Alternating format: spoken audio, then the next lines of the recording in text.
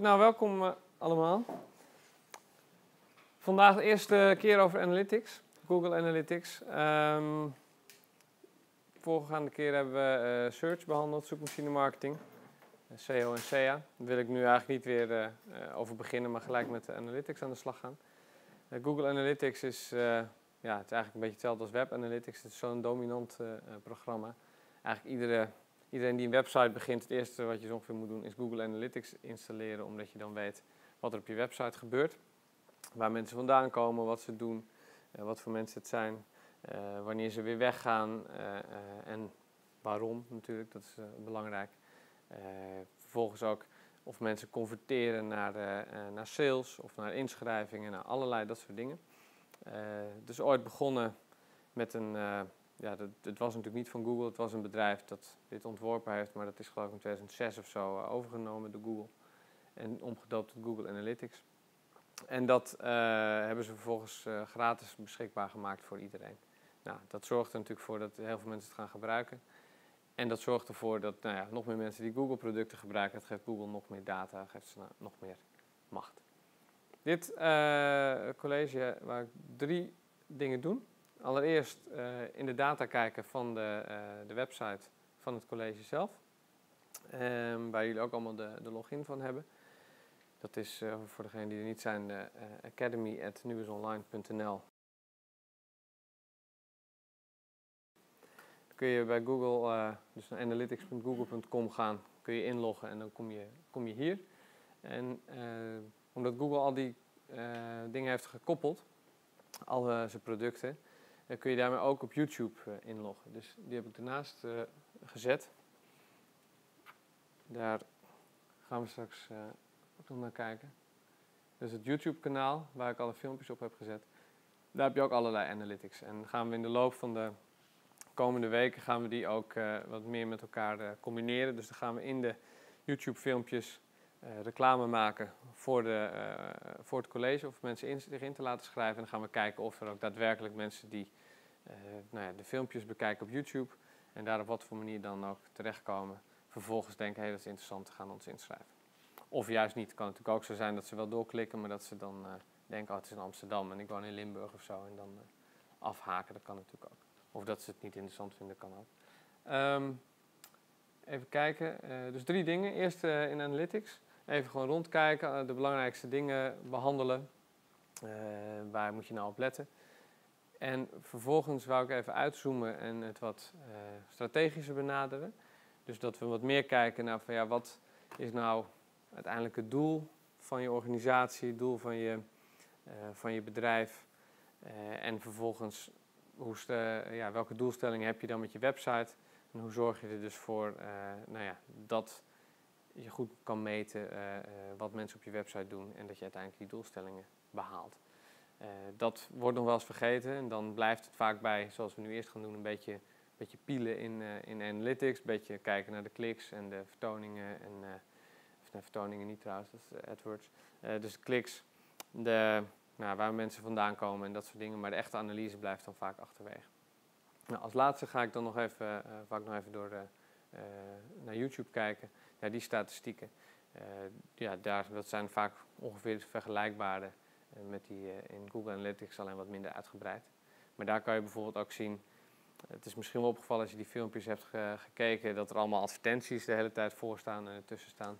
Nou, dat is, uh, dat is irritant, maar dat is vanuit het perspectief van, uh, van het college is dat wel juist weer interessant, omdat je dan kan zien hoeveel dat dan oplevert. En hoeveel bijvoorbeeld die, die blogs van, of die meisjes die dan ja, make-up en zo op, YouTube allemaal kanalen beginnen. Ja, hoe het kan dat die zoveel, uh, zoveel geld verdienen met, met zo'n kanaal, omdat die enorm veel bezoekers hebben. Ik geloof dat wij nu op 250 uh, eh, vertoningen zitten met alle filmpjes bij elkaar en dat levert dan 50 cent op of zo. Dus dat zet niet echt uh, veel zoden aan de dijk. Dan gaat het een beetje om het idee. Um, dus eerst analytics. Ik ga er even een beetje bij, bij zitten. Als je hier, uh, als je inlogt bij Analytics, dan kom je uh, op dit scherm. Dit is het, uh, het, nou ja, het, beginscherm. Daar staat dus je, je account in feite, Nubis Academy hebben die genoemd. En dan vervolgens daaronder, met dat, dat UA en dat getal erachter, dat is je, je property. En daaronder zijn dan de, de weergaves of de views. Nou, dat is de hiërarchie. Um, in feite, stel uh, dat, we dit, dat dit het hele account van Nubis zou zijn geweest, dan zou je op property niveau, zou je dan gewoon nu.is maken. Dus dat is gewoon de website. En dan zou je voor academy.nu.is, en we hebben nog een aantal van dat soort subdomeinen, zou je dan aparte properties maken. Nou, en binnen een zo'n property kun je dan verschillende weergaven maken. Nou, het is eigenlijk, um, het is wat, ge, uh, er zijn wat dingen vernieuwd, zoals met segmenten en zo. Het zit nu allemaal in, uh, in, die, in die weergaves, dus daar hoef je niet aparte segmenten of aparte weergaves voor te maken. Maar dan heb je eigenlijk drie dingen die het belangrijk zijn. de eerste is gewoon de ruwe data, dus alle websitegegevens. Nou, daar heb ik ook niet wijzig achter gezet, omdat iedereen erin kan, dus dat men weet van nou, daar moet ik niet in gaan, gaan klooien. Dan heb je altijd, alle ruwe data heb je altijd weer tot je beschikking. Dan kun je van daaruit altijd weer een kopie maken uh, voor de nieuwe weergave en waar je dan weer mee verder kunt gaan, gaan filteren. De hoofdview, die heb ik, ehm, heb ik gisteren gemaakt. Dus je ziet al, die heeft al minder, ja, minder sessies, minder bezoek, bezoeken dan, dan die andere dat die gewoon later is gestart. Uh, want op het moment dat je zo'n weergave uh, aanmaakt, dan uh, begint hij op nul. Dus dan begint hij pas vanaf daar begint hij, bezoeken te, te, meten. Daar kom ik zo meteen nog wel even op van dat, wat dat dus tot gevolg had. De, de laatste is de, dus dat is eigenlijk de, hoofd, de hoofdweergave, dus daar doen we alles in. Dat is eigenlijk ons werkbestand, daar, daar halen we onze data. Daar zetten we belangrijke filters in, bijvoorbeeld bepaalde eh, robots of spamdingen die, we, die wel in die ruwe data zitten, die filteren we er daaruit. Nou, en om te blijven proberen en te testen heb je een, een, testweergave waar je gewoon een beetje in kan, kan aanklooien. om te kijken hoe dingen er dan uitzien. zonder dat je gelijk je hoofdweergave daarmee belast. Nou, die drie, dat zijn eigenlijk de belangrijkste. Zal ik met die hoofdview gaan we daarin verder. kom je hier.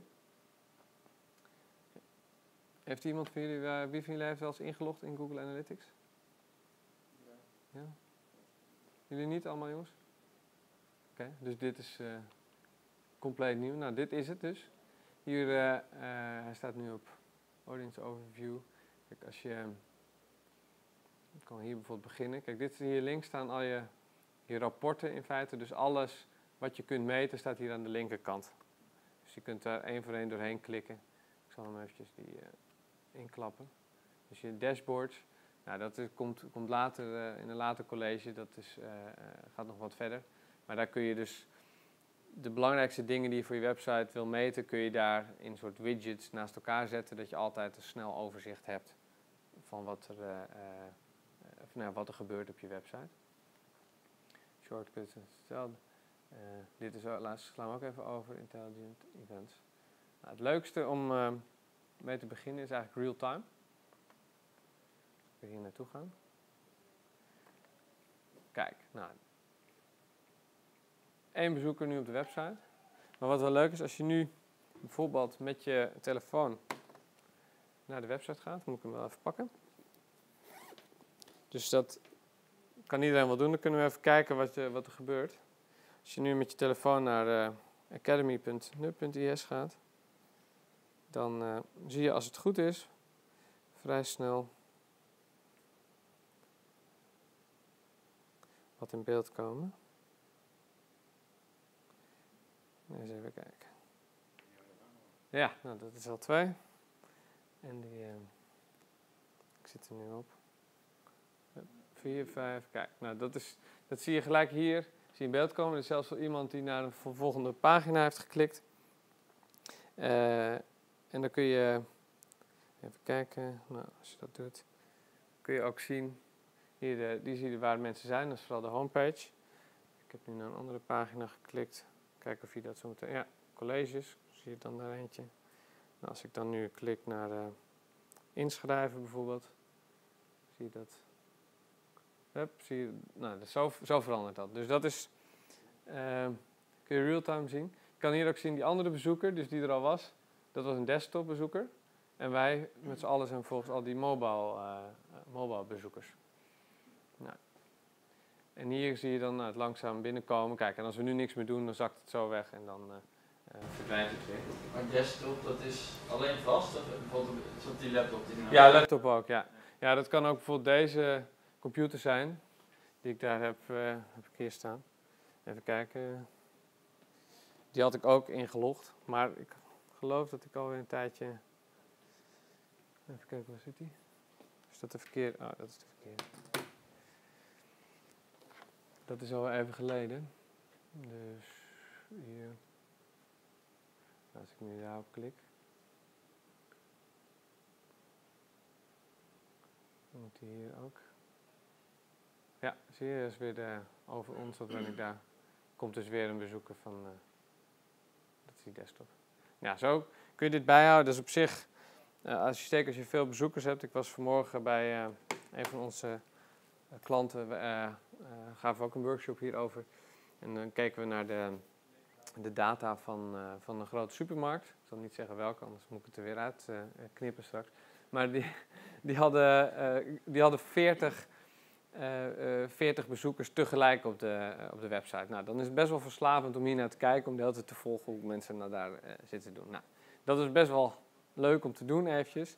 Maar het heeft met echt analyse van je website natuurlijk niet zo heel veel eh, te maken.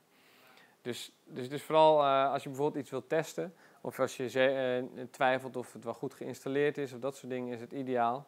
Want dan ga je gewoon zelf die pagina's af en dan kan je precies zien of het, of het klopt. Oké, nou die, eh, dus met veel, eh, eh, ja, veel eh, echt, als je echt wil analyseren, dan is dit natuurlijk niet de bedoeling. Maar als je dus snel dingen wil testen, of je hebt zelf een, website opgezet en je wil even kijken of het allemaal loopt, nou, dan is het natuurlijk makkelijk. Zeker zoals nu bij ons, er zijn verder ja, nauwelijks bezoekers, omdat heel weinig mensen de site kennen. Dus je kan meteen zien dat jij diegene bent en dat het op die manier werkt.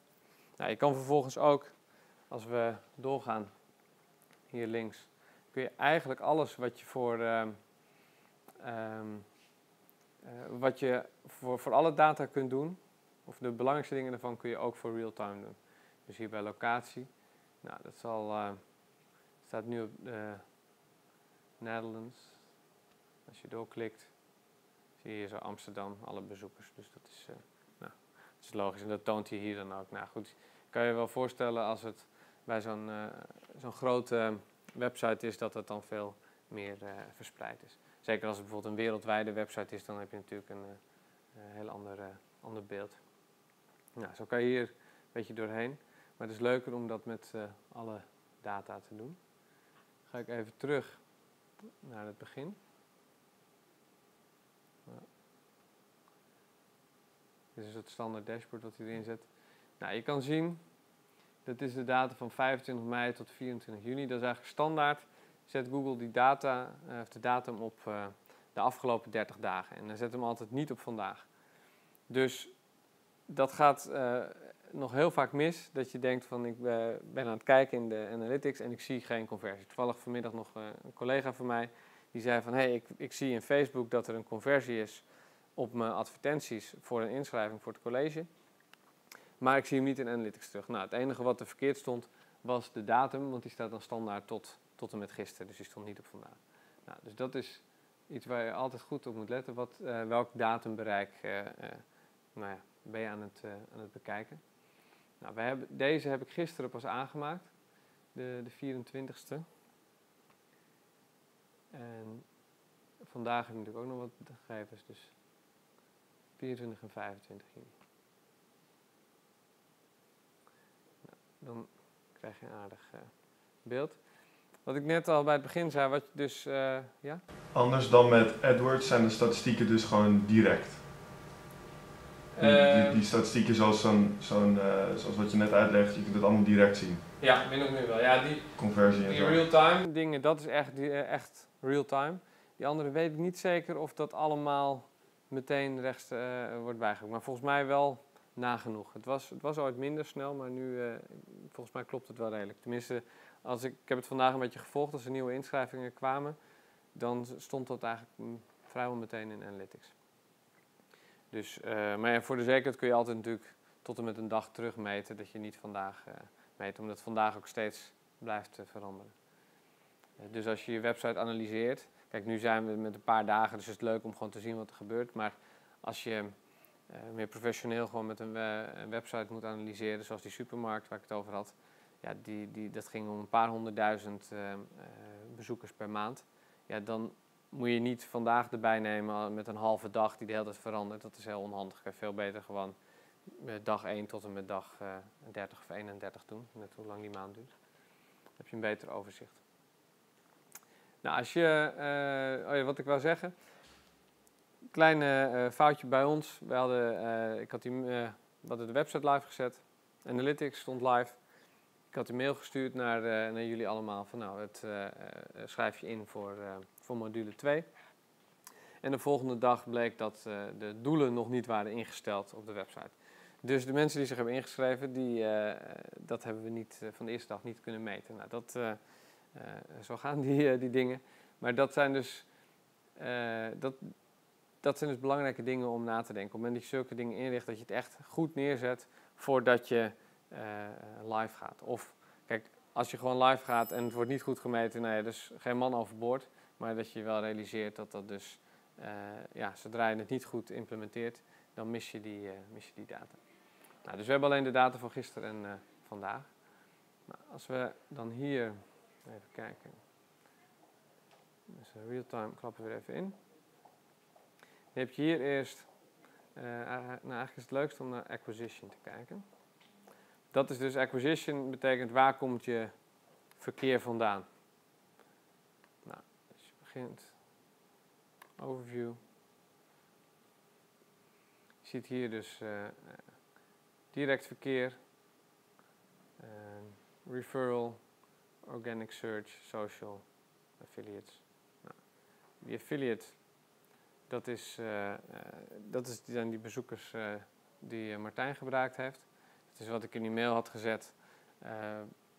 van als je het doorstuurt naar vrienden of bekenden, gebruik dan deze link en zet je eigen naam erin. Komen zo op, want dat, Martijn heeft dat gedaan en er is een eh, conversie uitgekomen, dus dat kan je dan precies, precies zien. Maar hier wordt een overzicht gegeven naar een other is vooral de, daar, daar zitten de campagnes in die we gedaan hebben. Nou, hier zie je gewoon het aantal bezoekers gisteren en vandaag en het aantal inschrijvingen. Dat is een referral. Een verwijzing, dus dat is een, eh, eh, nou, vanaf een andere website. Dus als, wij op, eh, als jij op jouw website een linkje zet hier naartoe, Ja. dan, dan heet dat een referral. Nou, hieronder staat die data.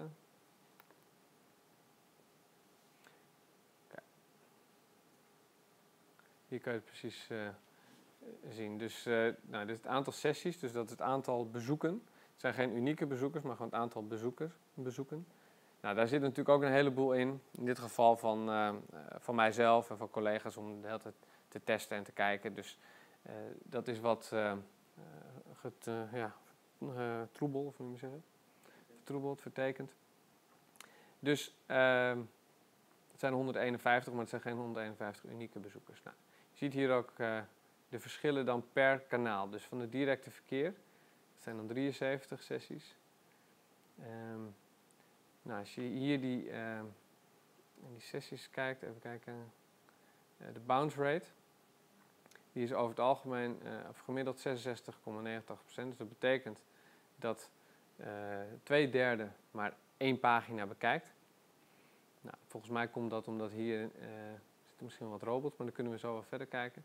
Want dat is niet, niet echt een goede statistiek. Als iedereen, eh, eh, of twee, twee van de drie mensen die op die site komt, dat die gelijk weer wegklikt. Of even kijkt en dan weer wegklikt, dat is natuurlijk niet het best. Wat wel zou kunnen, en dat zie je hier niet, is dat mensen, als je naar die site kijkt, even naar de homepage gaan, dat mensen hier het college gaan volgen. Dus dat kan natuurlijk ook, dat iemand die komt op de homepage, die eh, denkt van, oh nou leuk, ik ga dat volgen, die zit een uur te kijken, ja? kun je toch zien via event tracking kun je dat zien. Ja, ja, ja, ja, dat was, daar wou ik naartoe. Oh, sorry. eh, dus eh, je kunt het wel meten, maar je kan dan niet zien op je, eh, eh, bij je bounce rate, kan je dan verder niet zien hoe lang iemand op die pagina heeft gezeten. Want Google meet pas ook de tijd op hun website, meet, meet die in Analytics door, eh, door het moment waarop je op de volgende pagina klikt en de, tijd daartussen en dan telt hij dat allemaal eh, bij elkaar op. Dus op het moment dat iemand nergens op klikt, dan is de tijd op de site wordt dan als nul gezien. Nou, dat is verwarrend, want eh, we hebben bijvoorbeeld ook bij vorige week over Radio 538 waren we mee bezig geweest. En toen bleek dat die, eh, die hebben dat ook op hun website. Die hebben wel dat natuurlijk allemaal goed geregeld, maar heel veel mensen komen daar natuurlijk naar die website om die radio te gaan luisteren. Dus die gaan naar die homepage, die klikken die radio aan, die zitten daar de hele dag radio te luisteren en aan het einde van de dag klikken ze weer weg. Nou, dan wordt dat door Google Analytics in principe als een bounce gezien. Van nou, diegene die heeft alleen maar de homepage en die is weer weggeklikt. Wat eigenlijk negatief lijkt, terwijl als je dan weer naar het doel van je website gaat kijken, dat is eigenlijk precies wat je wil op die site. Dus het is leuk als mensen ook nog allerlei filmpjes en dingen bekijken, maar primair draait het bij, eh, bij Radio 538 om het radiostation. Dus daar, eh, dat is in ieder geval belangrijk om, eh, om te onthouden, dat je die altijd goed naar die data moet kijken en moet proberen te interpreteren wat het dan is. En dan kijken of het wel zo eenvoudig is en logisch is zoals je denkt en of er niet een diepere, diepere laag achter zit. En Wat is dan hier het verschil tussen eh, die directe en eh other? Nou, kijk, de, eh, van de mensen die direct komen, is dus 80% bounce rate. Dus 80% van de mensen. Maar direct is gewoon via de link die jij hebt gestuurd. Nee, nee, nee, dat is wat je gewoon in de browser intypt. Dus dat is, dan, dat, dat, dat zijn denk ik voornamelijk wij zelf op kantoor, gewoon om even daarheen te gaan en dan weer weg te klikken, nou, dat, dat soort dingen. Want de meeste mensen eh, die op de website zijn geweest, serieus, om zich in te schrijven, die hebben een link gekregen waar ze op hebben ge- geklikt. Nou, hier kan je ook zien, eh, eh, even kijken, dus hier zie je dan het gemiddelde aantal pagina's per sessie en het aantal, hoe heet het, gemiddelde tijd. En het, dit is de goal 1 conversion rate, dus dat is die inschrijvingen. En het aantal goal completion, dus de, het aantal voltooide eh, eh, inschrijvingen van twee dagen, 14 stuks. Nou, 9,27% van alle bezoeken is dan dus een, eh, conversie. Nou, en dan zie je hoe dat hier verdeeld is. Dus die, de directe, dat is maar 1,37. Nou, dat is, dat is er maar één. Nou, volgens mij was ik dat zelf, omdat ik dat ging, ging testen. Ehm, die other, dat zijn eigenlijk eh, jullie allemaal, of dat zijn al die linkjes. Dus dat is 20%. Dus dat is wel eh, beter. En je ziet ook dat die bounce rate hier een stuk eh, lager is. Nog steeds wat hoog vind ik hoor, meer dan de helft, maar goed. En hier is die, nou, de affiliate van Martijn. Dat is, als ik me goed herinner, één, één sessie, één klik, maar wel gelijk een conversie. Dus nou, beter kun je krijgen. Dus als je dan kijkt van nou, wat, op welke soort bezoekers moeten we focussen, wel, wat zijn de beste bezoekers voor deze site, dan zijn dat dus de vrienden van Martijn. Want die eh, converteren allemaal gelijk naar een, eh, eh, een conversie. Dus even kijken. Nou, als je dan hier, gaan we wat verder op in, all traffic channels. Kan je hier even kijken. Je kunt niet echt zien wie dan ook echt inschrijft. Je ziet dan verder niet, eh, het is niet eh, gekoppeld aan een persoon. Eh, nee. nee, we zouden nu wel de, de database ernaast kunnen leggen en het tijdstip waarop mensen zich inschrijven en dat hier helemaal uitpluizen. Dan kun je er wel achter komen. Maar, en ik heb ook wel eens als dan mensen aan, het, het chatten was of zoiets, die zeiden, oh leuk, ik kan me inschrijven. Ja, die schrijft zich dan vervolgens in, dan weet je meteen, oh ja, die hoort daarbij. Maar in principe is dat geanonimiseerd. Dat is ook wel be- bewust. Maar je kunt wel, ja, met e-commerce zijn er wel mogelijkheden om ook ordernummers eh, wel erin te, in te verwerken. Dus dat je eh, op de bedankpagina ook het ordernummer erin neemt. Dus dan kan je precies op ordernummer terugkijken. En dan kun je natuurlijk wel die, eh, die data erbij eh, bij halen. Nou, dit is natuurlijk geen e-commerce website. Dus dat, Nou kijk, hier zie je weer die verschillen. Dus de direct, other, refer. Nou, dan kunnen we eens kijken wat dat dan precies is.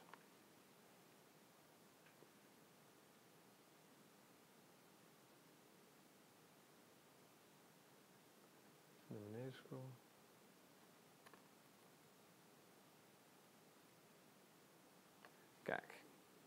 Nou, dat, eh, dat zijn dus precies die linkjes dan die we gebruikt hebben.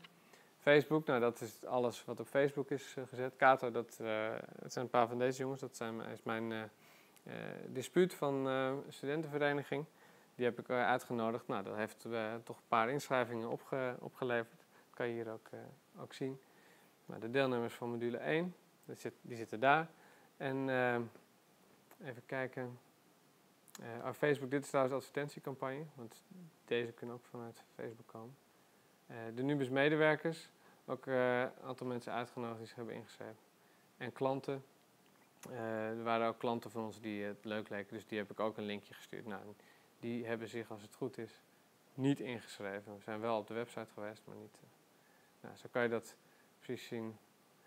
Ook hier de, de percentage nieuwe sessies, dus of terugkerende bezoekers of nieuwe bezoekers. Nou, zo kun je dat dan vergelijken. Even kijken. Dus je ziet hier op, vanuit Facebook, dat is een advertentiecampagne. Eh, 27 van 28 waren unieke bezoekers. Dus hierop, dan kan je hier steeds weer, zo werkt en je kan steeds weer doorklikken om het nog beter te, eh, te specificeren.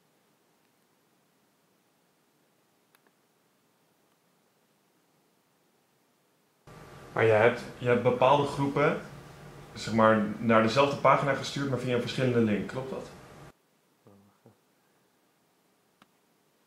Eh, ja, ja, dus ik heb meerdere groepen mensen uitgenodigd. En die heb ik in die UTM-codes, dus die tags die eraan zaten, verschillende dingen ingezet. Is dan de link anders op de locatie de plaats? De, in de link staat wat anders. Ik kan die link er wel eventjes eh, eh, even bij pakken. Kijk, hier zie je die linkjes. Die eh bovenste is dus eh, source, dus deelnemers module 1. Eh, het medium is e-mail. En de campagne is mailing 23 juni. Dus, eh, nou, dus de bron in feite, dat zijn de deelnemers van module 1. Dat wa- was de groep die zich daarvoor had ingeschreven. Die allemaal dus deze e-mail eh, kreeg. Nou, en dat is dus een e-mail, want ik heb hem ook op, in het Facebook-evenement heb ik hem ook gezet. Daar is dat dan niet e-mail, maar is dat Facebook-post. En dan mailing 23 juni. Dat is omdat die mail op 23 juni is gestuurd. Nou, bij die Facebook-post heb ik er geloof ik van gemaakt eh, medium Facebook. En dan eh, post 24 juni als, eh, als campagne. En even kijken, nou, dit is dus dat affiliate linkje. Nou, dat is weer de, de, de source, dus de bron is weer deelnemers module 1, want daar komt iemand vandaan. Maar dan het medium is dan affiliate, dus iemand die, die, die daar eh, die zich opstelt als, nou ja, als reseller in feite, die verspreidt het, eh, de boodschap. Eh, en de campagne is dan dus voornaam, streepje achternaam. Dus nou, daar kunnen we zo die van die, die sale of die, die, acquisitie, nee, die conversie van Martijn even, even laten zien. Die heeft gewoon zijn voornaam en achternaam ingevuld. Heeft iemand op geklikt en die wordt daar dan in verwerkt.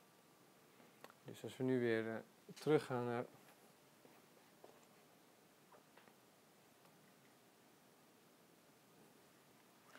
Naar Analytics. Even kijken.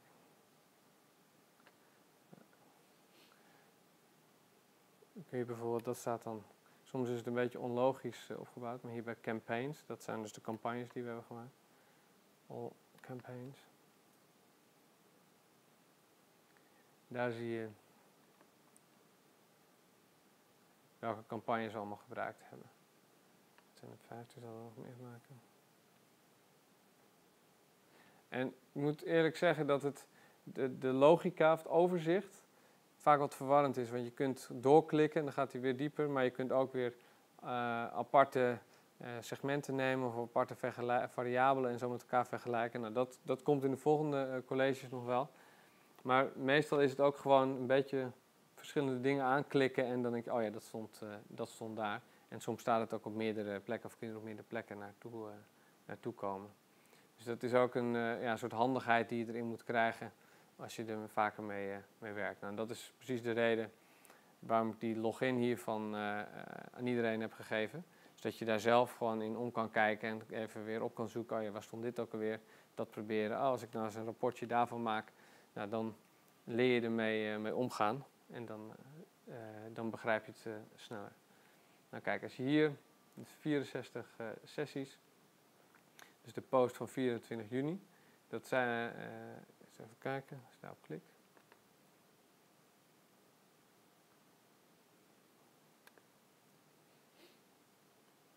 Nou, kijk, dus dat is eh, zowel die ik op die, die indicato groep heb gezet, als in de module, of nee, in het evenement van de deelnemers van module 1. Daar zijn dus 12 en 6 eh, klikken uitgekomen of bezoek- bezoeken. Nou, en dan eh, daarvan eh, nieuwe bezoekers eh 58% 50. Nou, nieuwe gebruikers zo. eh, dus het betekent dat sommige mensen al vaker op de website eh, waren geweest. Bounce rate zie je, die is hier al weer lager. Omdat dat mensen zijn die, die, kennen de site al of die, eh, die weten wat ze kunnen verwachten. Hier 50%. Nou, pagina's, kijk je ziet hier ook dus dat eh, die sessies langer duren. Dus waarschijnlijk hebben sommige mensen ook naar die video's eh, gekeken. En 25% oftewel drie inschrijvingen, hier twee inschrijvingen. Dus nou, dit zijn, als je dit soort cijfers haalt met, eh, met echt grote campagnes, dat is enorm hoog. Maar goed, dat haal je dus ook niet zo, niet zo snel. Maar eh conversiepercentages van 25 of 33% is, eh, heel hoog. Meestal, bij, zeker bij, ja, dan, dat is in sommige gevallen ook nog hoog zelfs. Maar met e-commerce zit je meer op dat soort, eh, eh, dat soort eh, percentages. Nou, als we weer. kijk, we zitten inmiddels, als je ziet hier, dit hele acquisition gebeuren, heel veel vertakkingen, traffic en dan hier campaigns. Nou, allemaal, allemaal verschillende dingen die je kunt doen, cost analysis, de keywords. Nou, dat, dit speelt nu nog geen rol omdat we het nog niet hebben gedaan. Maar dat komt, komt later allemaal. Net als Search Engine Optimization. Dus dat is weer ook de koppeling met de eerste eh, module. Daarvoor moet je een koppeling maken met eh, Google Webmaster Tools. Nou, dat gaan we ook allemaal de komende weken doen, zodat we langzaam dat hele account verder eh, opbouwen. Net als ehm, eh, het AdWords stuk. Ehm, even een zijstapje, maar ik, ehm, ik heb natuurlijk dat, die vragenlijst aan jullie doorgestuurd om, om feedback. Nou, een van de dingen die daar eigenlijk bij iedereen naar voren kwam, is dat er een, een certificaat moet komen voor, de, eh, voor het behalen van een eh, module. Nou, dat, eh, dat hadden we aan het begin ook gezegd, maar goed, door juist net hoe het liep, hebben we dat niet gelijk gedaan. Maar ik had nu bedacht, om als certificaat kunnen we mooi een opdracht aan iedereen geven die module 1 heeft gevolgd om een eh, AdWords campagne te maken voor deze website. En die kun je dan naar mij toesturen. En als die goed genoeg is, dan zorg ik dat er mooie certificaten eh, komen. Maar het leuke daarvan is ook wel dat we dan vervolgens kunnen we die weer met z'n allen bespreken. En die kunnen we eh, ook daadwerkelijk eh, nou, een beetje samenvoegen. Want waarschijnlijk komt de een met, met andere keywords dan de andere, die wel allemaal goed kunnen zijn. En die kunnen we dan in een AdWords-account zetten, die we weer kunnen koppelen hier met Analytics. En dan kunnen we ook weer meten hoe dat, wat dat voor resultaten tot gevolg heeft. Dus zo ja, bouwen we het stap voor stap op, maar zie je wel dat Analytics echt het, ja, de basis is van al je online eh, marketing, van al je, je website eh, eh, traffic. Nou, even weer, kijk hier, even terug naar de channels. Zie je hier weer. Nou, organic search zelfs, dus is blijkbaar al in, in Google gezocht. Nou, dat zou heel goed kunnen als mensen het in hun browser intypen of een typfoutje maken, dat het dan daar eh, komt. Ik neem aan dat dat het is. Want eh, de zoekwoorden van organic search die kun je tegenwoordig niet meer zien in Analytics. Kon vroeger wel. Toen eh, kon je precies dus van, wel van organisch als van betaald verkeer, wat in Google naar je website kwam, kon je precies zien hoeveel bezoekers daar vandaan kwamen. En met welke zoekwoorden. En dan kon je dan bijvoorbeeld ook weer van de woorden waar je gratis goed op scoorde, kon je dan ook weer betaald inkopen en eh, vice versa. Dus als je met een bepaalde zoekwoorden betaald het heel goed deed, veel conversies haalde, dan ging je proberen om daar ook met de organische resultaten beter eh, te scoren. Nou, nu eh, is dat dus wat lastiger. Maar dat is wel weer ondergebracht in, dat, in die webmaster tools. Dus daar, dat compenseert dan wat. Maar ik vind het zelf een beetje een rare maatregel. Maar Google zal er wel eens een, redenen voor hebben. Ehm, hetzelfde geldt hier voor het social stuk.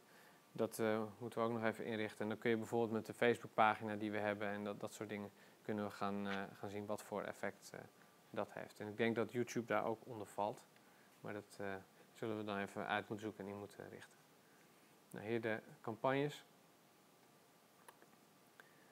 Um, even kijken. Behavior. Dus het volgende hoofdmenu. Ik zal die even afsluiten voor het overzicht. Kijk, bij behavior, dus het gedrag op, een, op je website, dat is ook een belangrijk onderdeel. Hier is het overview. Hier kan je zien onder andere welke pagina's nou veel bekeken worden. Dus je ziet die page views, dus dat zijn alle uh, pagina's die bekeken zijn, of het aantal pagina's bekeken. Nou, dat is 368. Unieke page views 271.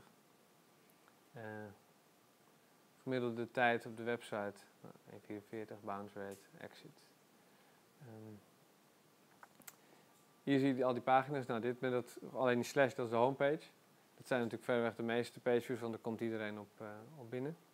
En uh, vervolgens, nou, de inschrijfpagina wordt veel bekeken, de colleges over ons. Nou, zo kun je dat allemaal bijhouden. Voor nu is dit nog niet heel spannend. Maar je kan je voorstellen bijvoorbeeld als je een hele grote website hebt, dan heb je heel veel, ja, bijvoorbeeld ook uh, productpagina's, bijvoorbeeld bij een webshop, dan kan je ook zien hoe vaak die nou bekeken worden. Dus als je ziet dat bepaalde productpagina's heel veel bekeken worden, veel meer dan andere, dan zijn dat blijkbaar populaire producten. Kun je ook zien of ze uiteindelijk ook veel verkocht worden, maar daar kun je ook weer dingen uit afleiden. Of ze wel heel veel bekeken worden, maar, uh, maar heel weinig verkocht. Dus wat je dan zou kunnen doen, is iemand een idee? Product aanpassen. Ja, ik zou iets anders aanpassen prijs aanpassen. Bijvoorbeeld, als je dan ziet, hey, dat paar schoenen kost 100 euro. Nou, heel veel mensen vinden het heel gaaf, maar niemand koopt het. Nou, dan is blijkbaar eh, of de foto's, eh, of de eerste foto komt niet overeen met de rest. Of er is iets raars, maar het kan ook gewoon zijn dat die prijs uh, verkeerd is. Dus als je dan nou ja, de prijs zegt 20% korting erop zet, dan kun je, die, um, dan kun je kijken of dat dan veel effect heeft. Nou, en wat je dan zelfs nog kunt doen, is in Analytics kun je um, pools van, of cookie pools maken. Waarbij je dus uh, op bepaalde pagina's zorgt dat mensen die op die pagina's komen een cookie in hun browser krijgen. Ze bij jou in een bepaalde pool met mensen komen die die pagina heeft bekeken. Dus stel we hebben een paar, dat paar schoenen van 100 euro. Zetten daar een tag op. Zodat iedereen die die pagina bezoekt, krijgt een cookie in zijn browser kun je vervolgens, als je dan die, die, dat artikel in prijs verlaagt, kun je die mensen die, al, die die cookie hebben, kun je dan gaan retargeten met banners van dit paar schoenen, nu 20% korting. Nou, en dat is nog weer een stapje verder dan wat je vaak ziet, wat er gebeurt met uh, als je op Zalando komt of als je bij Transavia komt. Nou, je bent nog niet van die pagina, van die website af. Of er staan overal al banners naar je te, schreeuwen van kom weer terug om dit product te kopen of deze reis te boeken. Nou, daar kun je dus, als je op een slimme manier met je analytics omgaat, dan kun je daar slimme manieren bedenken hoe je nou ja, mensen die op je website zijn geweest weer met de juiste boodschap terughaalt. Maar dat soort remarketing, is dat bewezen heel effectief? Uh, ja, ja, over het algemeen wel. Maar er is wel discussie over, want mensen zeggen ook wel van ja, dat zijn ook vaste klanten of terugkerende bezoekers die sowieso wel eh, hadden gekocht. Dus als jij uh, gewoon dat heel basic doet, dus je zegt iedereen die op de homepage komt, daar uh, zetten we een tag. Nou, die, die, al die cookies die uh, verzamelen we. Nou, op een gegeven moment heb je 100.000 van die cookies of 100.000 gebruikers in je, in je, lijst staan, in je retargeting lijst. Stel bijvoorbeeld voor de bijkorf of zo. Nou, ga je vervolgens ga je iedereen uh, retargeten met een, een campagne van de Bijkorf, van Hup, actie. En eh, nou, komen die mensen allemaal terug naar de website en die bestellen dan spullen. Nou, dat, dan denk je, nou, dat komt omdat we ze geretarget hebben, maar het kan ook gewoon komen omdat ze iedere week even de site eh, kijken en dus sowieso wel van die actie hadden gehoord of dat ze een mailing krijgen of dat soort dingen. Dus daar is wel discussie over of het niet gewoon je vaste klanten zijn die je de hele tijd terughaalt en, en dat eigenlijk het remarkten zelf geen uh, of weinig. Maar het kan ook een probleem opleveren, want stel voor dat ze op jouw site komen en ze kijken naar bepaalde schoenen, vervolgens gaan ze naar een andere site toe en ze kopen daar die schoenen. En vervolgens worden ze gespamd door jouw bedrijf en je hebt die schoenen al gekocht, dan Ja. het alleen maar, uh, is het alleen maar slecht voor je naam. Klopt. Hoe zou je dat oplossen? Tja, geen idee. Nou, wat je kunt doen is een, ehm, een cap erop zetten. Dat je bijvoorbeeld ehm, maximaal eh, zoveel keer per dag mensen dan weer retarget. Dus maximaal eh, drie keer met zo, per dag met een banner eh, eh, eh, benadert. Of dat je een, ehm, een maximum tijdsbestek erop zet. Dus dat je zegt van nou, eh, als iemand op die, eh, die schoenen heeft bekeken, dan ga ik hem niet nog 30 dagen daarmee lastigvallen. Dan is het waarschijnlijk dat hij binnen drie dagen beslist waar hij ze gaat kopen. Dus dan laat ik alleen die drie dagen laat ik, eh, mijn banners zien. En daarna niet meer. Dus, want dat is, kijk, je kan er ook zo naar kijken. Bijvoorbeeld iemand die, die op Transavia heeft gekeken naar vliegtickets naar Barcelona. Ja, die kun je vervolgens de hele tijd retargeten met die tickets uit Barcelona. Maar je kunt ook denken, nou, eh, we weten van het profiel van mensen die naar Barcelona gaan, dat ze eh, voor een citytrip of zo, want je kan ook nog die datum en zo die ze invullen, dus je weet of of het voor een lange reis of een korte reis was, dat die mensen vaker per jaar citytrips gaan doen. Dus je kunt ook eh, zeggen van, nou laten we dan over zes weken die mensen weer gaan targeten met Rome bijvoorbeeld, of met Praag, of, of een beetje variëren en dan kijken hoe mensen, ehm, eh, ja, hoe mensen daarop reageren. Ik heb eh, volgens mij ook, eh, ja, wat wij zeggen. Dat soort profielen worden wel dus van jou gemaakt. Ja, als bedrijven het slim doen, wel.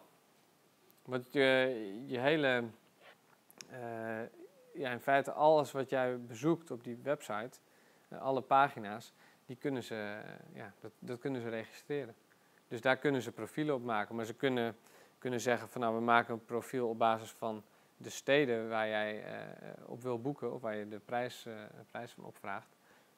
Maar we kunnen ook zeggen van iedereen die, eh, die vandaag op de website is geweest, die gaan we morgen retargeten met dat we een actieweek hebben bijvoorbeeld. Dus je, dat hangt van de, het bedrijf van de marketingafdeling af hoe ze daar, eh, daarmee omgaan.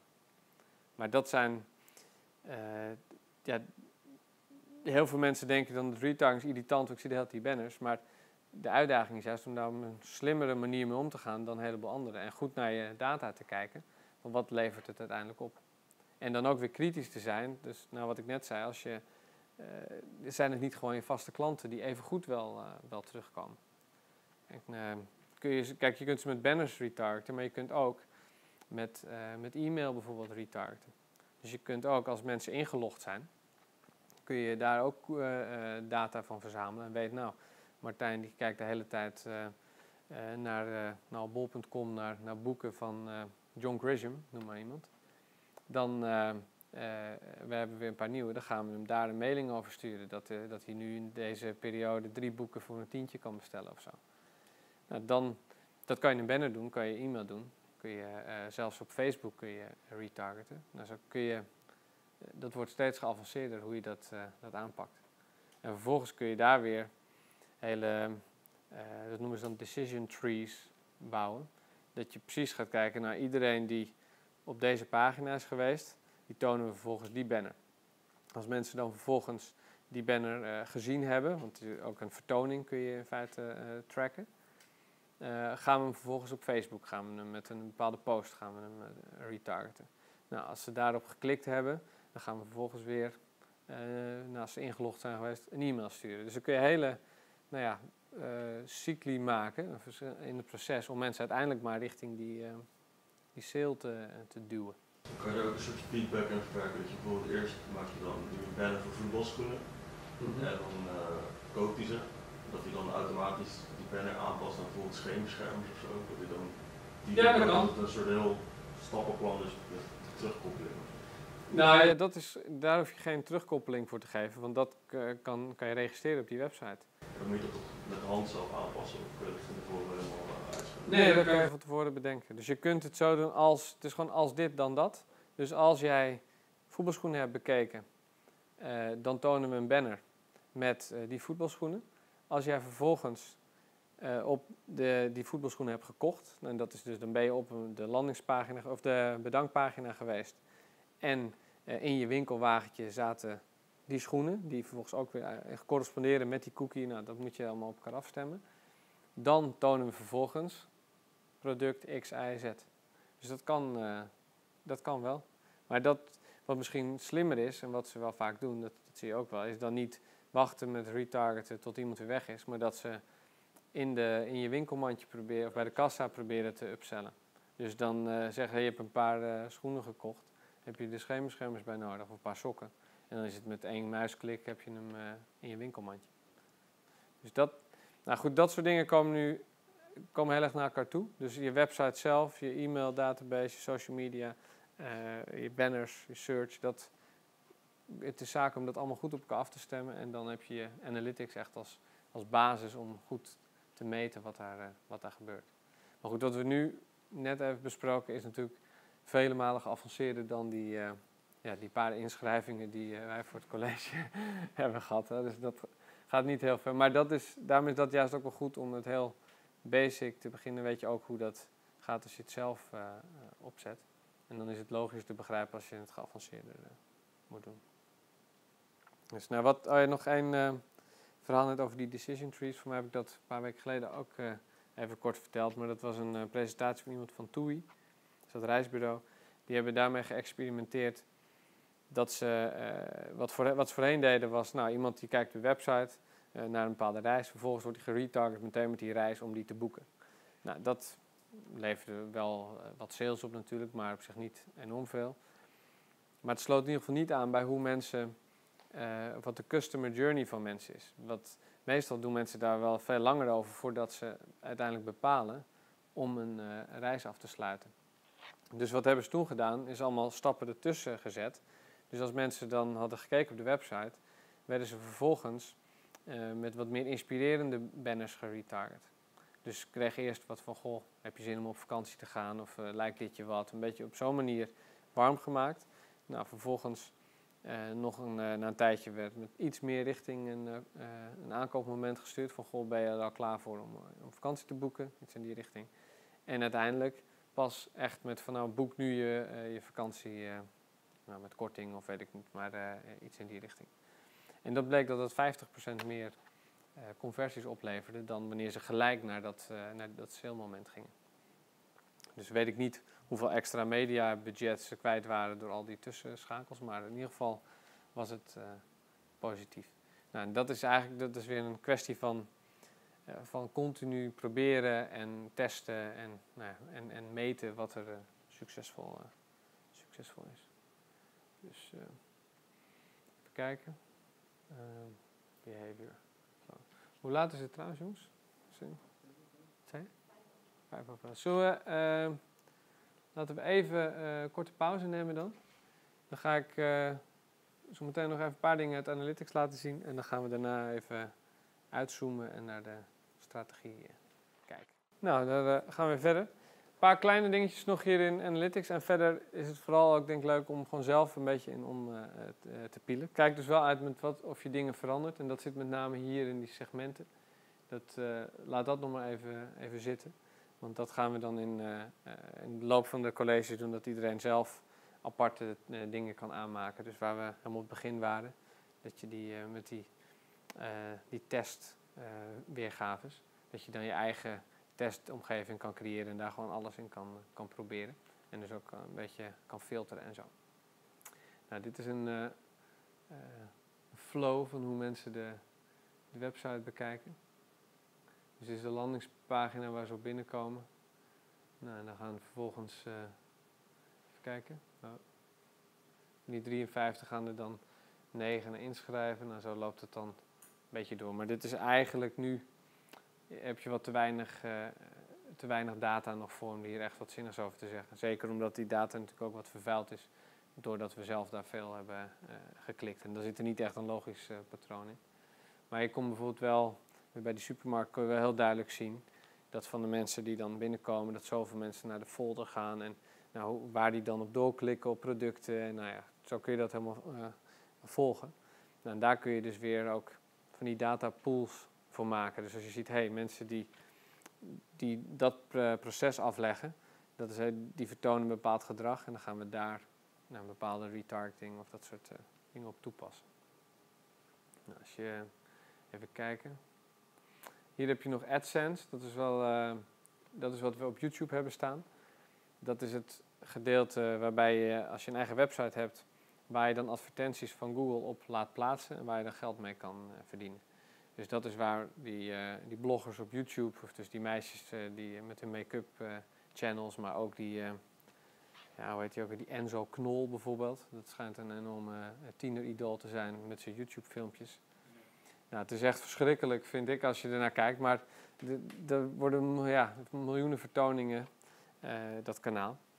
Nou ja, dat kan hij doen omdat hij er advertenties op laat draaien. En de YouTube geeft hem daar, of dus Google, geeft hem daar een bepaald percentage van. En dat zijn best behoorlijke percentages. Want volgens mij is het ergens tussen de 50 en 70 procent wat naar de, de publisher gaat. En maar 30 tot 50 wat naar Google gaat. En ik heb een keer wat gelezen over, of een eh, blog gelezen. Als ik eraan denk, zet ik nog eventjes op de, bij de college stof, want dat is wel interessant. Het verschil tussen YouTube en Facebook. Waarbij YouTube de mensen die de content creëren eh, beloont met een, eh, eh, een vergoeding, dus voor de advertentieinkomsten. Doet Facebook het omgekeerde. Dat als jij een, een, een leuk blog hebt op Facebook en je hebt heel veel fans en zo, mensen komen daar echt omdat ze jou leuk vinden. Dan maakt Facebook het alleen maar moeilijker om nog op een organische manier je fans te bereiken. Dus op Facebook is het geloof ik 6% inmiddels van je fans die je bereikt. Nou, voor bedrijven is dat op zich is dat wel logisch dat Facebook dat, dat doet. Want bedrijven die komen er alleen maar natuurlijk om mee te liften op de gebruikers van Facebook. Maar een social medium wordt ook gemaakt, ja, is een social medium, dus dat gaat over interacties tussen mensen. En er zijn mensen, of celebrities, of, eh, of gewoon mensen die leuk kunnen bloggen of die leuke filmpjes plaatsen. Die hebben gewoon veel volgers, veel fans. Maar die worden daar dus niet voor beloond. En sterker nog, die moeten er eigenlijk, wil Facebook ze dwingen om, om advertenties in te kopen. Om hun leuke content onder de aandacht te brengen bij hun fans. Nou, dat is een. eh, zo had ik er toen nog nooit over nagedacht, maar ik vond het wel een, eh, een aardige eye-opener. Eh, want je zorgt er op deze manier voor dat mensen die leuke content maken, dat die naar media als, als YouTube trekken en niet op Facebook. Omdat dat daar gewoon, ja, daar is geen businessmodel voor, voor te bedenken voor die, voor die mensen. En dat is op YouTube juist wel. Dus daarom zie je dat op YouTube dat dat, dat steeds meer ja, een, een, populair wordt voor mensen die leuke dingen eh, kunnen maken, om daar gewoon hun werk van, eh, van te maken. Dus die mensen met zoveel honderdduizend of zoveel miljoenen likes op Facebook, die krijgen daar niks voor van Facebook. Nee. Nee, terwijl dat wel, eh, kijk, dat, als je eh, nadenkt van waarom, eh, waarom log je in op Facebook of wat, wa- waarom ga je naar Facebook, dat is omdat je vrienden er zitten of ja, bepaalde mensen die je volgt of, of nieuwsdingen die eh, kun je ook volgen en allerlei blogs en zo. Dat is eh, de reden, dat is niet eh, voor de bedrijven bijvoorbeeld. Tenminste, op een paar na misschien, maar over het algemeen niet. Dus het is logisch dat die bedrijven be- moeten betalen om jou te kunnen, kunnen targeten. Maar echt de content creators, ja, die hebben ook gewoon een fanpage. En die wordt als, op dezelfde manier behandeld als de fanpages van bedrijven. Dus, ik zal even dat filmpje opzoeken. Het is wel interessant. Het is wel ook eh, een Amerikaan, dus die, die, schrijft wel, eh, of die maakt wel leuke kritische stukjes. Nou, dus eh, dat is AdSense. Nou, Experiments gaat dan vrij geavanceerd. Site Search, dat hebben we niet, maar dat is ook een, ehm, eh, wel een interessant, interessant iets. Want daarmee kun je vaak ook zien wat er ontbreekt op je website of wat niet goed vindbaar is. Dus als iemand op je website zoekt, nou bij de supermarkt werd heel veel naar bier eh, gezocht. dat is wel vrij eh, eh, toepasselijk. Nou, dus dat, eh, blijkbaar staat het dan niet goed ergens aangegeven. Of, eh, goed, dat viel ook wel mee. Dat was een van de meeste zoekopdrachten. Maar op totaal van een aantal mensen viel het natuurlijk wel, eh, wel mee. Maar de, eh, nou, daar kun je interessante informatie uit halen. Als mensen verwachten dat bepaalde dingen bij jou op je website te vinden zijn. als dat niet het geval is, dan, eh, dan kun je ze gaan toevoegen en dan kun je die informatie uithalen. Even kijken. Nou, die andere doen we later eh, wel. Ik nog heel even... Kijk, hier staan dan conversies. Hieronder. Even kijken. En dat... Dus daar kun je ook nog kijken. Die goals, dat zijn die doelen die we hebben ingesteld. Dat is wel... eh, eh, wel leuk om te zien. Kijk, dat overview dat is dan weer hetzelfde als dat we net bij acquisition zaten, maar die funnel visualization wel leuk om te zien. Dan kun je hier. Kijk, dan zie je hier hoe mensen op het inschrijfformulier komen. Nou, dus eh, vanaf de homepage de meeste. Nou, sommige die komen er gelijk binnen. Nou, een paar andere via andere pagina's. En dan zie je hier waar ze weggaan. Dus er zijn er vijf die klikken naar de eh, agenda. Nou, dus vier klikken helemaal weg, vier naar colleges, vier klikken naar de overeenkomst. En die eh, denken, wat is dit voor een burgercontract? Dat, dat ga ik niet tekenen. En, eh, de, een eentje gaat naar de homepage. En uiteindelijk 13 inschrijvingen over, eh, van de 32. Dus dan heb je een, eh, een eh, hoe heet het? Een conversie vanuit die funnel van eh 40%. Nou, hier is die funnel maar, maar één pagina, dus dat, ehm, eh, dat, dat zegt nog niet zo heel veel. Maar je zou bijvoorbeeld, als je meer data hebt, verschillende inschrijfformulieren kunnen maken en om te kijken waar mensen dan eerder afhaken. Nou, dat is gro- wat grote websites heel veel doen. Die zijn continu dat soort funnels aan het optimaliseren. Dus dat er weer een, nou, een, een rood knopje of een groen knopje of een, eh, een stukje naar links, stukje naar rechts, wel of geen aanbiedingen erbij. En nou, allemaal van dat soort dingen wordt continu geoptimaliseerd om maar het eh, conversiepercentage van die eh, sales funnel zo, eh, zo hoog mogelijk te krijgen. Nou, dat, eh, en dan heb je ook vaak dat het echt gewoon meerdere stappen zijn. Dus dat je eerst je gegevens invult, of dan moet je inloggen. Nou, al die stappen zijn weer potentiële momenten waarop mensen kunnen, kunnen afhaken. Dus daar moet je op optimaliseren. Ehm, nou, zo kun je dat uh, doorkijken. Hier heb je nog e-commerce. Nou, dat geldt dus eh, hier niet. Maar dat geldt eh, als je een webshop hebt. Dan kun je dus ook nog een keer terugrekenen vanuit een, echt vanuit een sale. En dan kun je ook zien hoeveel het dan eh, qua omzet oplevert. Hier bij doelen kun je ook daar een waarde aan hangen. Dus stel dat wij zeggen, nou iedere inschrijving eh, vinden we 10 euro waard, dan kun je dat wel invullen, maar dat is natuurlijk wel fictief. Want dat zou je dan als een lead kunnen zien. Dan denk je, nou vanuit al die leads, daar converteren we eh, zoveel mensen tot, tot een sale. Nou, een sale kan dan zijn bijvoorbeeld iemand die we, die we aannemen, die anders via een recruitmentbureau moet komen, wat veel geld kost. Of iemand eh, die ergens eh, gaat werken en ons inhuurt, of nou, dat, soort, eh, dat soort dingen. Maar goed, dat is natuurlijk bij, ja, bij, bij een webshop heb je gewoon gelijk, e-commerce gaat gewoon gelijk om geld. Nou, dan hebben we, wat we nog niet hebben gedaan is het audience stuk. Ik denk dat we dat, dat bewaren we even voor de volgende keer. Daar gaat het over de demografische data, waar ik het voorafgaand uh, al even met een paar mensen over had. Dan kun je zien wat de interesses van mensen zijn. Dus dat, uh, dat, ik denk dat volgende week hebben we weer wat meer data, dat het wat beter uh, weergeeft. Maar dat is Google tegenwoordig ook aan het verzamelen.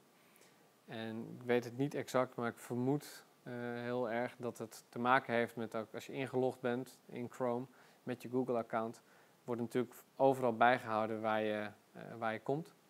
Nou, en daarmee kan Google een profiel maken van waar jouw interesses liggen.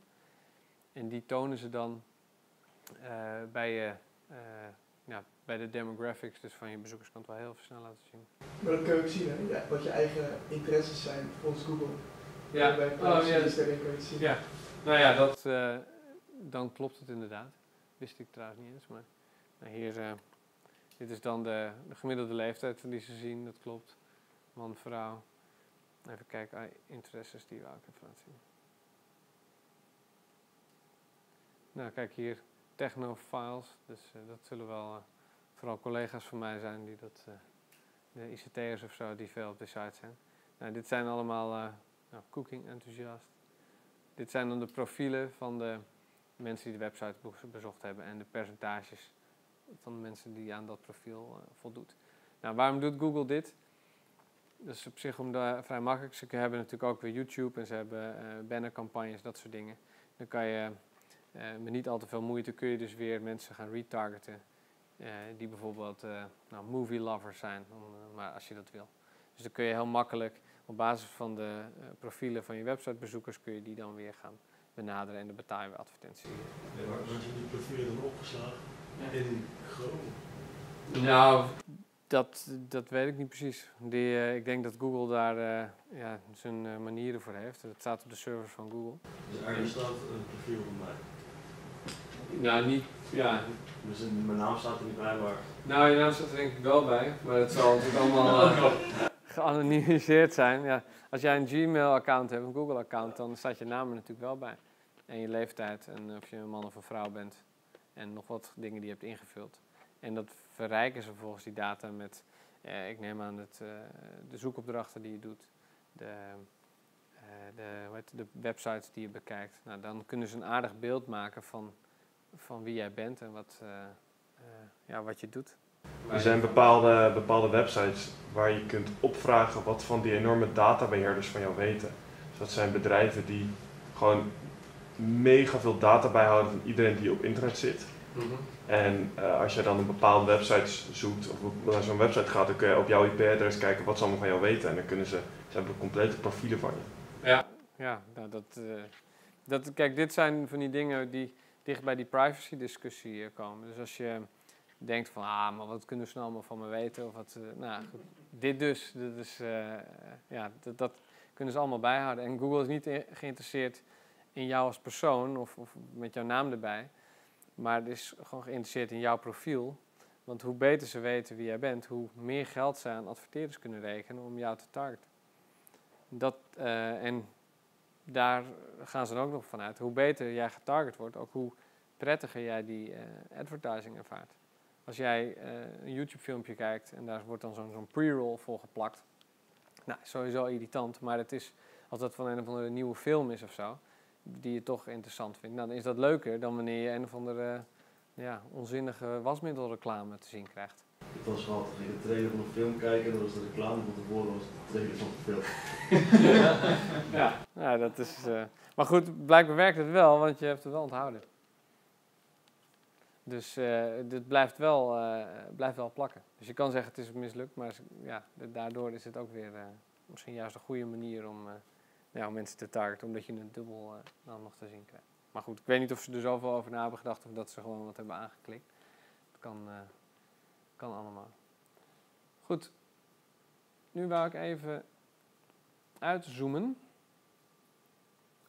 Even kijken.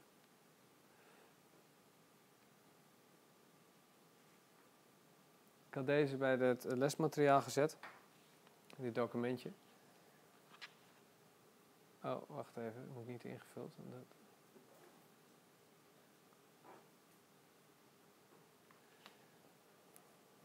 De, is een eh Avinash Kaushik. Is een Indiër. Dat is echt een goeroe op het gebied van analytics. Dus als je wat wil weten over Google Analytics, eh, eh, Google vooral naar, naar hem of bekijk zijn website. er staan allemaal blogartikelen over analytics. Dit is een, ehm, eh, het artikel wat ik daar heb gezet is een artikel over een, eh, nou, hij noemt het het eh, Digital Marketing and Measurement model. En dat doet eigenlijk een stap terug vanuit Google Analytics. Het gaat over van voordat je eh, aan de slag gaat met Google Analytics of überhaupt met Web Analytics, moet je eerst realiseren wat überhaupt je eh, bedrijfsdoelstellingen zijn. Wat vervolgens eh, op basis daarvan de doelstellingen zijn die je met je website hebt. Wat vervolgens de, eh, de KPI's zijn, de Key Performance Indicators. Dus hoe ga je eh, die doelstellingen dan, eh, dan vertalen in, in concrete, concrete doelen. Of ja, concrete meetbare doelen. En welke targets hang je daaraan? En vervolgens kun je dan nog segmenteren in verschillende klantgroepen. Dat is eigenlijk een beetje de, de rode draad. Ik heb hem iets vereenvoudigd, want zoals hij daar beschrijft, is sowieso een artikel van een paar jaar geleden. En met name wat hij over die segmenten zegt, is niet meer helemaal eh, actueel. Of eigenlijk helemaal niet, omdat die segmenten kun je nu makkelijker in Analytics aanpassen. Maar goed, dat, dat komt in de volgende college nog, gaan we daar dieper op in. Maar, eh, dus voor nu, die segmenten kun je wel een beetje laten varen.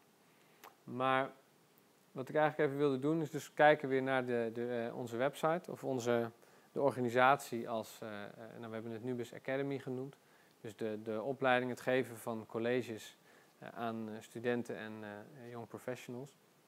En dan te bekijken van nou, wat is nou uiteindelijk de doelstelling van die organisatie. Dus wat, wat, zouden wat willen we daarmee bereiken? Wat is ons, ons doel dat we dit aan het doen zijn? Iemand een idee? je gemotiveerde werknemers je kan een soort voorselectie houden voor of je eigen werknemers of andere bedrijven doorslaan, een soort scouting of zo. Ja, kan. Ja, je kan het op zo'n manier eh, doen dat uiteindelijk daaruit eh, voortvloeit. Maar ik heb het nu iets, iets softer eh, ingestoken, of meer van nou, wat. eh, dat is wat daar uiteindelijk uit zou kunnen komen. Maar meer van wat zouden we nou mee willen bereiken. Als ik hier sta en, eh, en jullie dingen aan het vertellen ben. Kennis delen, gewoon zorgen dat wij eh goede online marketeers worden. Ja? Zoiets. Zoiets. Maar uiteindelijk het doel van dit is toch ehm, om de continuïteit van je eigen bedrijf te verbeteren. Klopt, klopt. Ja. Dat is, eh, nee, dat is ook zo. Dat moet er eigenlijk nog boven. Dat is uiteindelijk waar het om gaat. En dan vervolgens is een doelstelling die je daarbij stelt. Van nou, wij willen inderdaad zoveel mogelijk mensen, of zoveel mogelijk kennis met zoveel mogelijk mensen delen. Dat heb ik eh, tenminste, dat komen we zo bij de antwoorden, maar eh, heb ik er zelf opgeschreven. Maar ik ben het met je eens hoor. Het is eigenlijk, het doel is, is nog weer een, eh, ja, weer een stapje verder. En daar voortvloeiend heb je dan van ja, hoe gaan we dat eh, doel bereiken, dus op, die manier. En daar hebben we deze website dan eh, voor gemaakt. Dus als we ervan uitgaan dat het, het doel is, uiteindelijk van dit onderdeeltje van de organisatie, want dat wat jij nu zegt is meer gewoon het doel van, van Nubus als bedrijf. En van de Nubus Academy is dan het doel om zoveel mogelijk kennis te delen en zoveel mogelijk mensen eh, zoveel mogelijk kennis te, eh, ja, bij te brengen over eh, online marketing. Nou, als je dan dat doorvertaalt naar de website, hoe zou je dat dan eh, doen? Wat is dan de doelstelling van de, van de website? Eh, mensen bereiken, misschien informatie geven over wat het is. Informatie levendiger maken waardoor ze eh, enthousiast worden en zich ingeschreven. Ja? En ook daar gewoon ook kennis delen door die zetten. Ja. Ja, ja ongeveer. Ja, alles bij elkaar. eh, Maar ook als een tool om, als lesmateriaal tool, want je gebruikt het wel om eh, voorbeelden te geven tijdens de les. Dit, ja, ja, ja, ook, ja, die web, ja dat, dat, dat gaat weer nog een. eh, ja, dat past er niet helemaal in, denk ik, maar dat, daar gebruiken we het ook voor. Ja. Nee, inderdaad, de doelstelling van die website is, dat, is zoals ik hem had geformuleerd, enerzijds eh, inschrijvingen voor de colleges, omdat we daarmee dus zoveel mogelijk kennis kunnen delen. En aan de andere kant ook zoveel mogelijk eh, eh, vertoningen van de YouTube-filmpjes. Dus in feite heb je de actieve en de passieve studenten of, of vol- of volgers die je bereikt. Dus of je, ze zitten hier of ze kijken het thuis. En dat ja, proberen we allebei zoveel mogelijk te delen. Ehm, hoe zou je dat, eh, dat dan in een KPI vertalen? Tenminste, eh, gelet ook op wat we net dan in Analytics hebben, hebben bekeken. Hoe zou je dat eh, formuleren? Aantal inschrijvingen en aantal views op YouTube. Ja, volgens mij wel. Voor mij had ik dat staan. Maar ik zal even kijken. Dat is. even bijpakken. Even. Waar kan het, eh? Ja, kijk, je hebt hier de doelstelling, dus het delen van kennis over online marketing met zoveel mogelijk studenten en young professionals. Dan zoveel mogelijk inschrijvingen voor de colleges en zoveel mogelijk online kijkers van de, YouTube, van de colleges. KPI's voltooide inschrijvingen. Dus mensen die zich inschrijven. Eh, en gestarte video's en dan ook nog aantal bekeken video's. Een aantal minuten van de bekeken eh, video's. Omdat je natuurlijk, eh, we kunnen wel veel vertoningen hebben op YouTube, maar als iedereen na twee minuten wegklikt, terwijl het dat college een uur duurt, dan heb je daar natuurlijk nog niet eh, heel veel aan. Dus dat is ook een belangrijk iets, dat je kijkt naar hoeveel minuten mensen dan daadwerkelijk het, eh, het hebben bekeken. En het is, eh, ja, er zijn niet zo heel veel mensen die gewoon een uur naar een YouTube-filmpje gaan kijken. Dus daar moet je wel echt ja, een bepaalde motivatie voor, eh, hebben. Nou, als je dan dat ehm, naar KPI targets kijkt, dat is, eh, dat is wat die Avinash eh, ook zegt. Je moet altijd beginnen met een bepaalde eh, target. Dus je kan wel zeggen, ja, zoveel mogelijk. Maar je moet er eigenlijk altijd over nadenken, hoeveel is dat dan? Ook is het, eh, klopt het helemaal niet met wat daadwerkelijk is, maar dan ben je daar in ieder geval mee bezig om het concreet eh, te maken. En dat is in het proces van uiteindelijk het, het gaan meten en die, in, in analytics, is dat heel belangrijk dat je dat realiseert. Nou, dus ik heb dit nu gedacht, nou laten we eens op 30 inschrijvingen per maand. Nou, ik geloof dat we er nu ruim, eh, ruim 20 hadden tot, eh, eh, tot vandaag. Dus nou, dan hebben we nog die eh, Facebook-campagne. Laten we het een beetje doorlopen, kijken of we daar nog wat mensen bij kunnen krijgen. Ehm, even kijken, nou, dan, wat dan een target kan zijn, is bijvoorbeeld eh 20% conversie van bezoekers die nog niet, zich nog niet hebben ingeschreven. Dus van de mensen die op de website komen en nog niet zich hebben ingeschreven, willen we dan dat 20% zich gaat inschrijven. Nou, ik geloof dat het net, uit mijn hoofd iets van 9% was, de conversie. Maar er zijn de, deze nog niet uitgefilterd. Nou goed, hoe je dat eruit filtert, dat komt dan eh, verderop. Maar dat kun je allemaal segmenteren en eh, eh, apart in kaart brengen. Hetzelfde geldt voor de conversie van gestarte video's. Dus we, ik heb hier als doel gesteld dat 50% van de mensen die op de website komt, dat die in, in ieder geval een, eh, een video eh, start om te kijken wat het, eh, wat het is. Dus en dan zeker in het achterhoofd dat je mensen probeert te werven die nog, het, nog niet het college gevolgd hebben. Dat ze toch een bepaalde nieuwsgierigheid hebben, want anders, ja, waarom komen ze anders op die website? Nou, en vervolgens proberen we ervoor te zorgen dat mensen toch gemiddeld vijf minuten per gestarte video gaan, eh, gaan kijken. Maar hoe bepaal je die, die eh 20% conversie van bezoekers die zich nog niet hebben ingeschreven? Hoe weet, je weet niet echt wie er op de site kijkt, zeg maar? Eh, jawel, want je kunt filters maken dat mensen die op, eh, op de geregistreerd pagina zijn geweest, dat die niet eh, worden meegenomen. Al is, het, al is het dan wel zo dat. even kijken. Ja, dan moet je even kijken of je die inderdaad, ook als ze dan weer terugkomen, of je ze dan nog steeds kunt meenemen. Moet ik even, moet ik even uitzoeken of dat inderdaad eh, of dat Ja. precies mogelijk is. Kijk, en als mensen hun cookies bijvoorbeeld wisselen, dan kan het sowieso niet of vast in een eh, incognito scherm gaan of op een andere computer. Eh, maar het is in ieder geval ja, om aan te geven dat je daar wel rekening mee moet houden. Want ja, als, je, als iedereen zich al ingeschreven heeft, ja, dan is het logisch dat ze dan niet blijven inschrijven.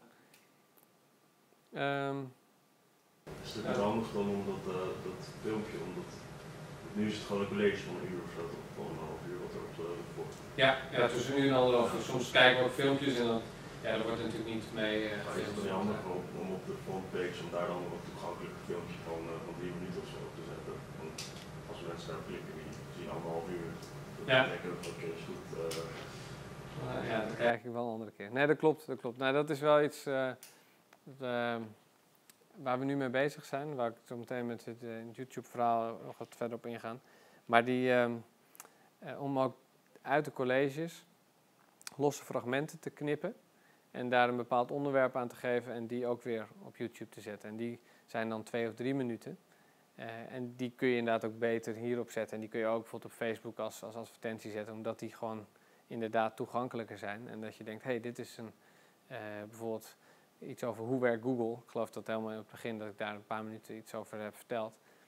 Nou, dat, eh, dat is een titel die aanspreekt. Veel mensen willen het wel weten en die hoorden dat dan. Dan denken ze, oh, dat vind ik interessant.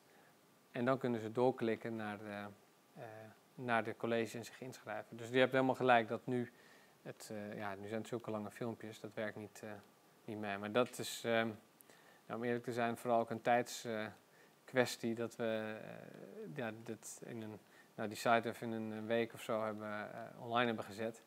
En ook al die filmpjes die zijn nu net allemaal eh eh, geëdit en allemaal online eh, gezet. Het is wel de bedoeling dat het nu, dus deze, dat die dan binnen een paar dagen weer opstaat. Dus als je het niet gevolgd hebt, dat je het makkelijker kunt, eh, kunt bijblijven. Maar dat is gewoon organisatorisch natuurlijk wel een, eh, een uitdaging. Dus, maar goed punt. Ehm, nou, dan heb je dus nog die KPI-targets. En als segment op het laatste, nou, dan kan je dus bijvoorbeeld onderscheid maken tussen studenten en uh, afgestudeerden, uh, nieuwe of terugkerende bezoekers, geografische herkomst. Dus uh, kijk, die studenten en afgestudeerden weet je natuurlijk ook nooit helemaal, maar je zou wel met bepaalde doelgroepen, die, die target, bijvoorbeeld op Facebook kun je, kun je daar wel op filteren. Moeten mensen wel hun gegevens goed hebben ingevuld, maar dan kun je daar segmenten voor maken. Nou, en de, je kunnen bijvoorbeeld ook, kijk, stel dat er veel mensen komen die die niet in Amsterdam wonen, maar die in, uh, nou, in Leiden of Utrecht of Rotterdam of zo uh, wonen. Kijken wat dat voor effect heeft. Of die mensen zich dan wel inschrijven, maar bijvoorbeeld niet komen en alleen online kijken. Misschien kun je die mensen bereiken van nou, stel dat we, dat we daar een college zouden geven, zouden, zou je dan wel komen? Of, of, en sommige mensen die wonen verder weg en die komen wel gewoon. Dus dat is, nou ja, Precies, en misschien zelfs de mensen die van ver komen, die, uh, nou ja, goed, die hebben een bepaalde motivatie en die komen uh, dan juist wel mensen, tenminste zo was het vroeger op de middelbare school altijd, de mensen die dichtst bij school woonden, die kwamen altijd te laat en de mensen van ver weg, die, die waren ruim op tijd. Maar, dus dat kan ook, maar daar kun je dan weer bepaalde data uithalen, kun je vergelijken en dan kijken wat daar voor opvallende dingen in staan. Nou, dus dit is een beetje globaal en deze onderdelen, die kun je eigenlijk voor, voor iedere website kun je die in kaart uh, brengen. Dus dat is goed om als je bijvoorbeeld voor, uh, bij een bureau werkt en voor een klant dat moet doen, eh, of je werkt bij een, een bedrijf waarbij je dit beheert, is het altijd goed om je af te vragen van goh, wat, wat doen we nou eigenlijk hier? Waar, wat is het doel van het bedrijf?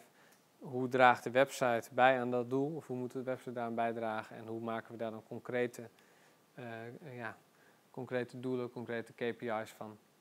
Uh, en, en waar hangen we succes aan op? Wanneer vinden we dat we daar succesvol mee zijn? Dus dan, dan heb je iets om op, uh, op te sturen. En dat ga je dan vervolgens meenemen.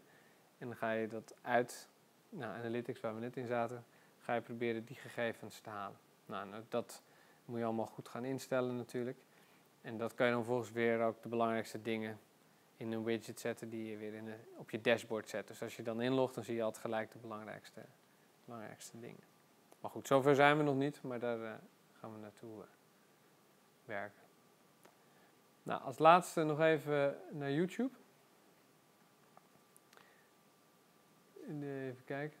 Je kunt dus met, het, met die login kun je van de academy.nubusonline.nl kun je ook in YouTube kan zelfs in Gmail, of tenminste het is allemaal aan elkaar gekoppeld. Nou goed, in Gmail staat verder niet zoveel, maar uh, um, dat is, daar kun je allemaal, uh, allemaal bij. En als je hier kijkt, bij uh, Videomanager zitten we nu hier. Je kan hier zien welke video's we hebben, uh, erin hebben staan. Nou, dit is dus een collega die is daar wat mee aan het testen met kleine filmpjes en het bewerken daarvan. Die zijn ook niet, er staat zo'n slotje op, die zijn, zijn niet openbaar. En die andere staan wel allemaal uh, openbaar. Dan kan je ook zien hoeveel views ze hebben. Dus je ziet die van de introductiecollege, die heeft verreweg het meeste views, want die staat er het langst op. Maar die hebben we ook het meest verspreid, dus op YouTube en op uh, wat andere kanalen. Nou goed, en we hebben nog niet verder uh, op LinkedIn of andere promotiedingen gedaan. Ook omdat we dat nou, voorlopig eerst het gewoon goed neer willen zetten voordat we er helemaal aan de grote klok willen, willen hangen. Dus uh, kijk, dan is de verwachting dat je natuurlijk dat het aantal views omhoog uh, uh, schiet. Maar voorlopig zie je dan de, deze, nou die is, is daarna gekomen, dan nou, loopt dat door. Deze op de een of andere manier heeft die maar heel weinig. Omdat deze twee die vrij snel erachteraan kwamen en die heb ik dan wel op een paar plekken weer, volgens mij op Facebook gedeeld of zo. Dus dan worden die wel even bekeken en die oude niet. Nou, zo kun je dus naar die statistieken kijken.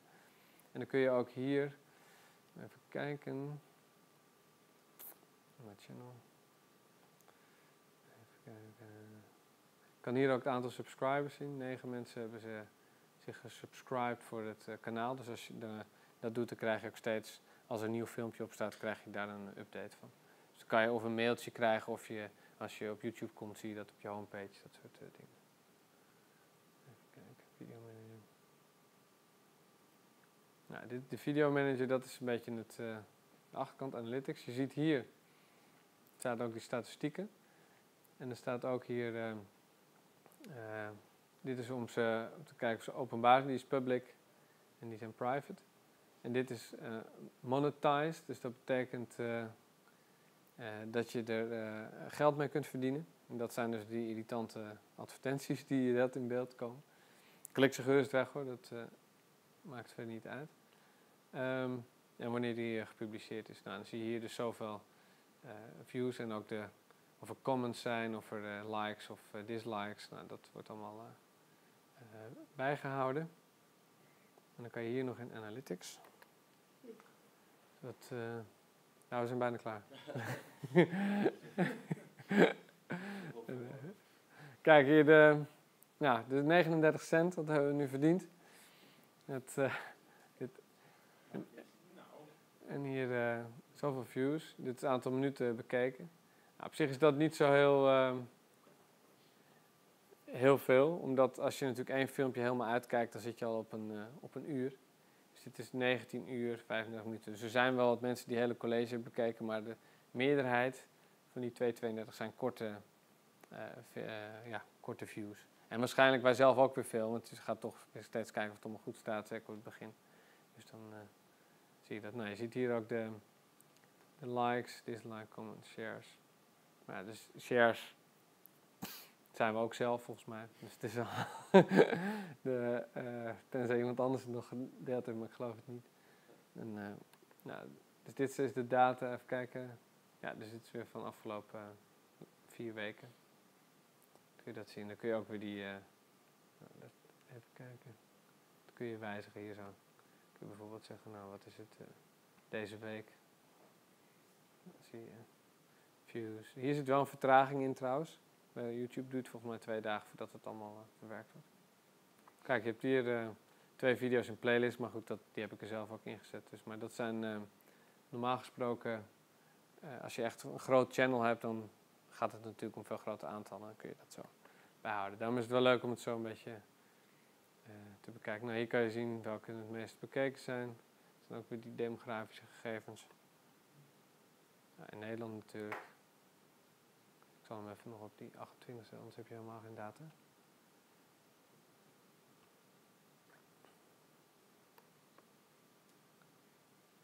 Kijk, dan kan je dat zien. Nou, en het aantal minuten wat per filmpje is eh, bekeken. Nou, dat wordt dan. En de estimated earnings. Dus nou, 35 cent met die ene. Nee, wel grappig hier. 93% mannen.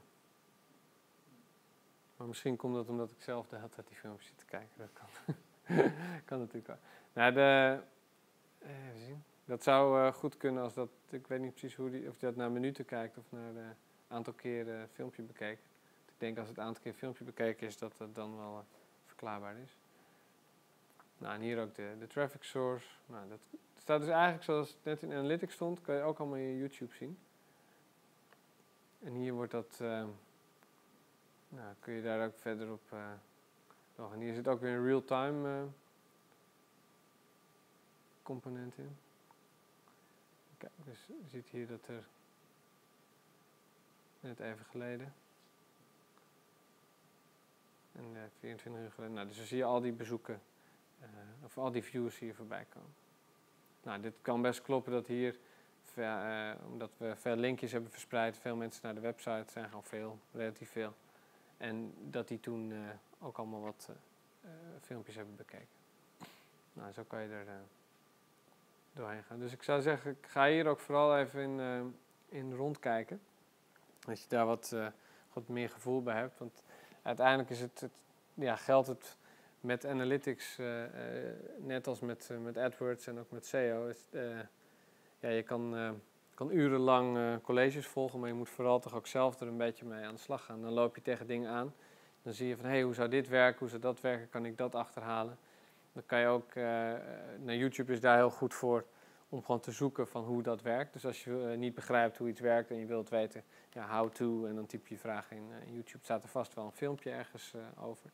Nou, zo, zo kun je zelf al al spelend of al werkend kun je veel kennis eh, vergaren. En dan begrijp je steeds beter hoe het, eh, ja, hoe het in zijn werk gaat. Nou, en dan zie je ook zien dat, dat YouTube en Google en Facebook en al die dingen en dan met analytics, dat dat allemaal met elkaar samenhangt. Met attributie en zo, en daar komen we ook nog eh, verder op. Volgende colleges. Dus attributie is het. ehm, ehm, dat betekent dat bijvoorbeeld een conversie niet per se alleen komt vanuit, eh, vanuit een Google zoekopdracht, maar dat mensen bijvoorbeeld eerst een, eh, een banner hebben gezien, daarop hebben geklikt. Vervolgens zijn ze retarget op Facebook, daar hebben ze geklikt naar de website. En toen hebben ze bij Google eh, nou, dat paar schoenen wat, wat ze wilden kopen ingetypt en zijn ze naar de website gegaan. En toen hebben ze, hebben ze ze gekocht.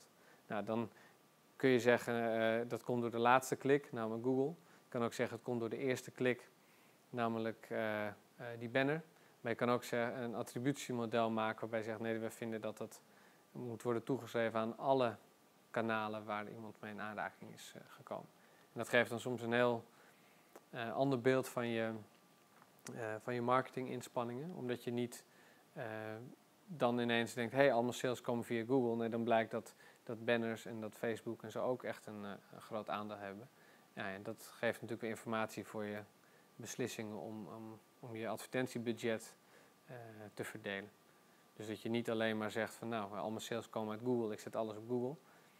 Eh, dan ja, mis je belangrijke eh, sales, omdat die mede worden veroorzaakt door die eh, andere kanalen. En als je die wegsnijdt, ja, dan komen mensen niet meer eh, uiteindelijk tot die zoekopdracht op Google, omdat ze eh, je überhaupt niet kennen.